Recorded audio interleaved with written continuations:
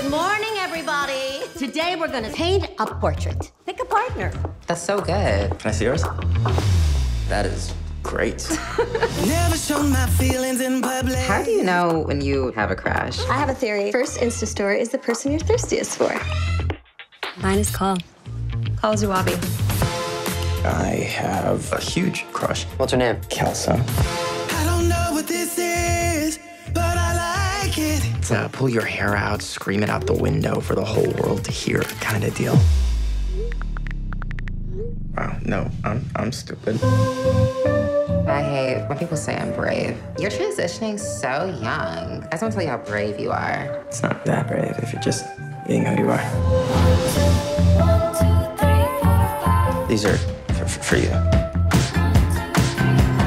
Cole, M likes you. Yeah, well, I like like you. If you don't like me, just tell me. I still want to be your friend. I didn't say that. We could live our own life or spend the rest of our life wondering what if. So you've officially set the school on fire. Maybe we should go on on a a, date. a date.